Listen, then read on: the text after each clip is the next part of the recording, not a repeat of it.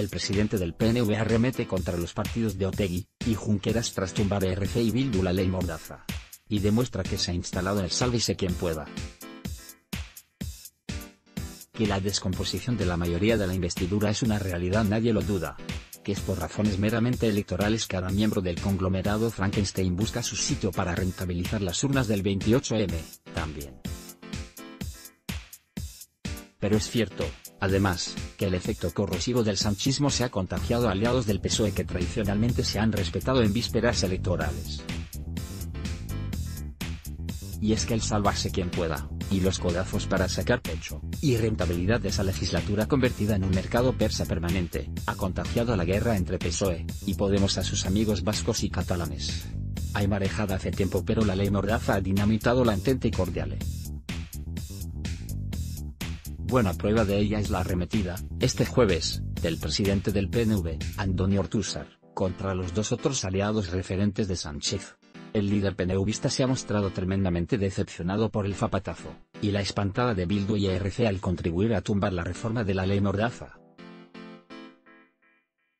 Además, ha puesto en cuestión el pedazo de pulcritud de ambas formaciones políticas cuando, al mismo tiempo, pactaron con el PSOE que no hubiera comisión por el caso Tito Bernio Mediador. En una entrevista radiofónica, Ortúzar ha admitido que no acaba de entender por qué las formaciones que dirigen Oriol Junqueras y Arnaldo Otegi han movido pieza de manera tan brusca, tan abrupta y han cegado un debate que podía haber seguido. A su juicio, las explicaciones que dan ambas formaciones políticas sobre su postura no son del todo ciertas o no la justifican.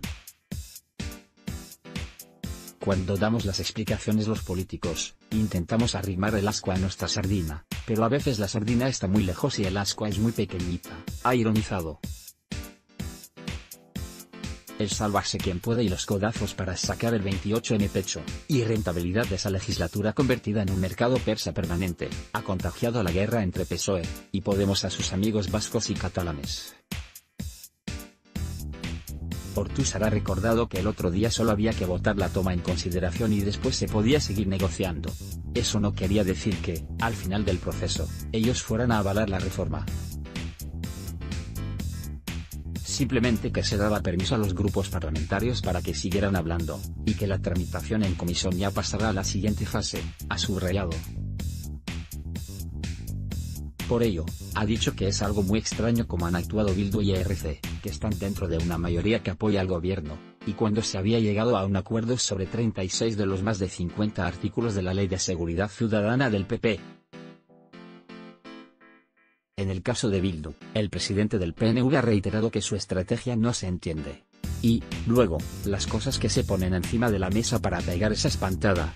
El tema de las pelotas de goma. Vamos a ser claros, el tema de las pelotas de goma no está en la ley Mordaza, está en otra ley, ha apuntado.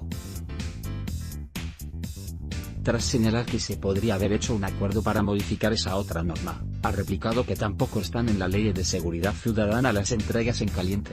Podríamos haber dicho que vamos a modificar la ley de extranjería, pero no se ha querido, ha explicado. Por ello, ha asegurado que está profundamente decepcionado por esta actitud. Fue el el que el que hizo la primera propuesta de la enmienda radical contra la ley Mordaza. Presentamos 44 enmiendas parciales a cada artículo, con lo que prácticamente enmendamos toda la ley, y eso quiere decir derogarla, ha añadido.